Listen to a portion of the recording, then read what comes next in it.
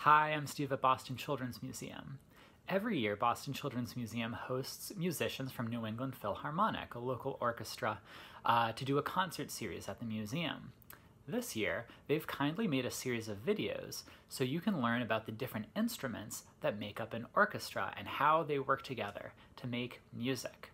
New England Philharmonic is a wonderful organization and you can learn more about them and get involved by clicking on the link in the description. This is the second video in their series where we meet the string family. I hope you enjoy it.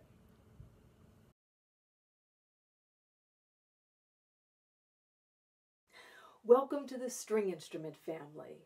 If you heard Danny's introduction to the orchestra, then you know that all of the instruments in our family are made of wood, mostly from spruce trees and maple trees. Most importantly, our instruments all have strings, which is the special way our instruments make their sound. We use our bows and sometimes our fingers to make the strings vibrate, wiggle back and forth really fast, like that. And then the wooden body of our instrument also vibrates and amplifies the sound, makes it louder so everyone can hear it. This is the violin. It's the smallest and highest sounding instrument in the string family. And here's how it sounds.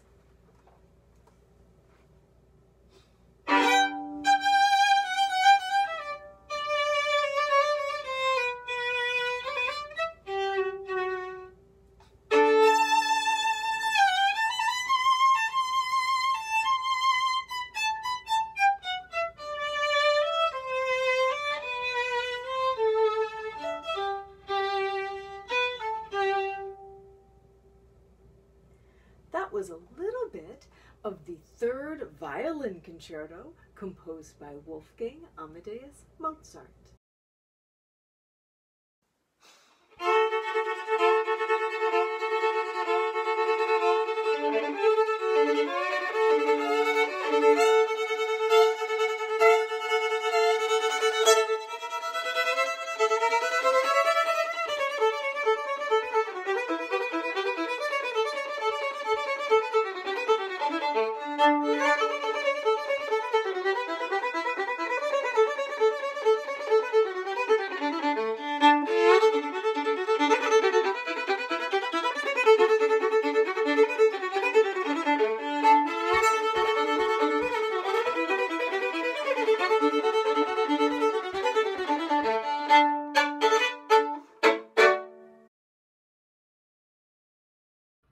Hi, my name is Brianna Kramer, and I'm here to show you a little bit about the viola today, which is the second highest instrument in the string family. The viola is played up on your shoulder, just like the violin is, but as you can see here, it is a lot bigger than the violin is. And because it's bigger, it's going to make a deeper, lower sound than the violin does. The viola the other special thing about it is it has the same strings as the cello, and those strings are A, D, G, and C. And that's what it sounds like if I use pizzicato or I pluck with my finger. If I play those same four strings with my bow, it sounds like this.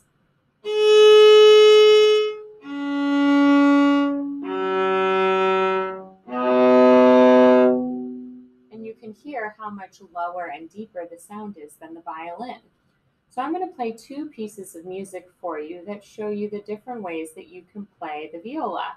The first piece that I'm going to do for you is by Strauss, and it's called the Pizzicato Polka. So like the name says, I'm only going to pluck the strings with my finger in order to play this piece.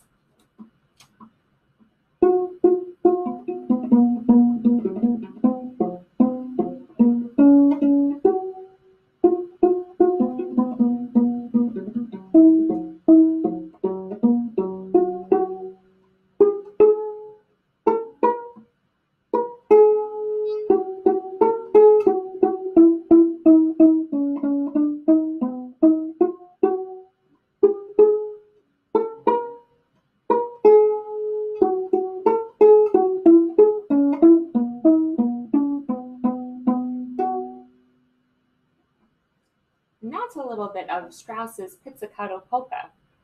The next piece I'm going to play for you that shows you what the viola sounds like, I'm going to use my bow for, and that's called playing arco.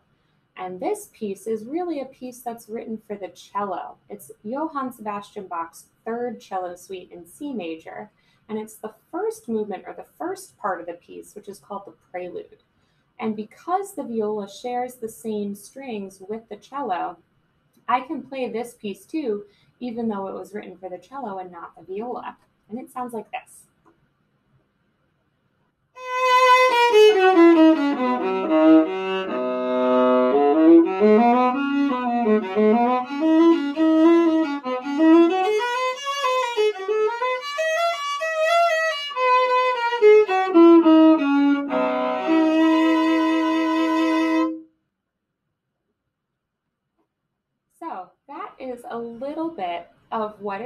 Like to hear a viola. You heard the pizzicato polka where I plucked the strings, and you heard Johann Sebastian Bach's third cello suite where I used my bow.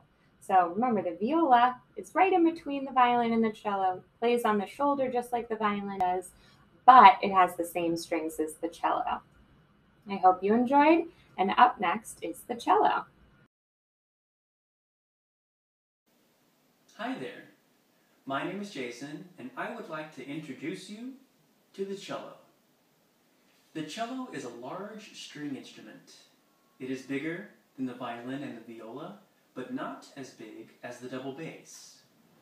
Because it is a large instrument, it can make sounds that are lower than the viola and violin can make. The strings of the cello are the A, the D, the G,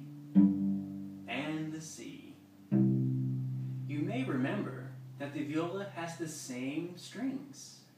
The reason these strings sound lower than the viola strings is because they are longer in length.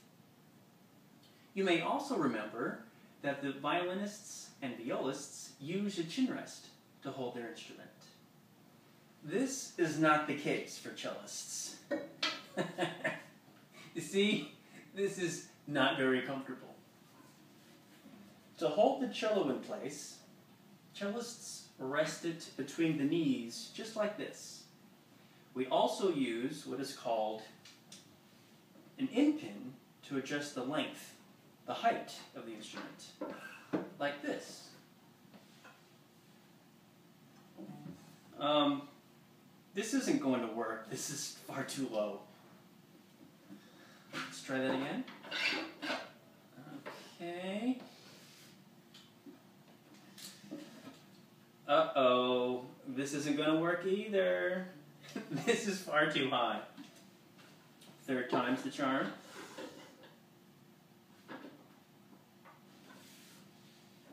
Oh, that is so much better. The cello can play notes that are high, like the violin,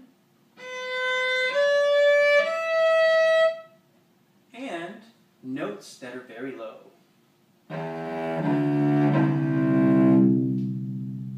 Now I would like to play a piece for you that shows off the middle range of the instrument. This piece is called Minuet Number One by Johann Sebastian Bach.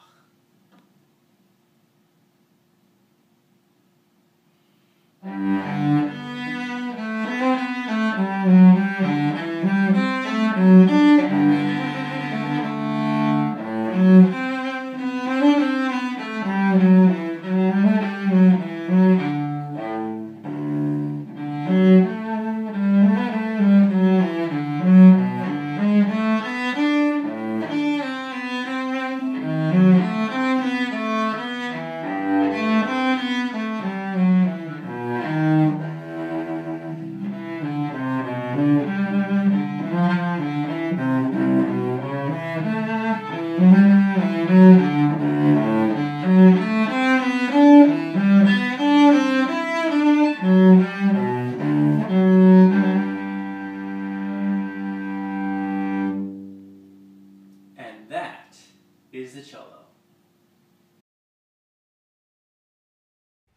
Hello there. My name is August, and I play the double bass, which is both the biggest and the lowest instrument in the string family. Now, I love playing the double bass because it can make so many sounds. And my favorite sound to make of all of them is the low growl. Also like playing up high and making a nice mellow tone.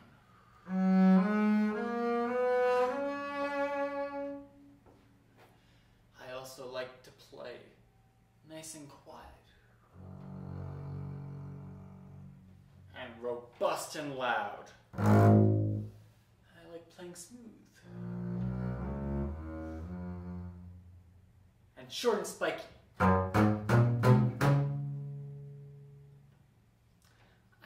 Most of all, I love putting all of these different sounds into combinations when I play music on the double bass.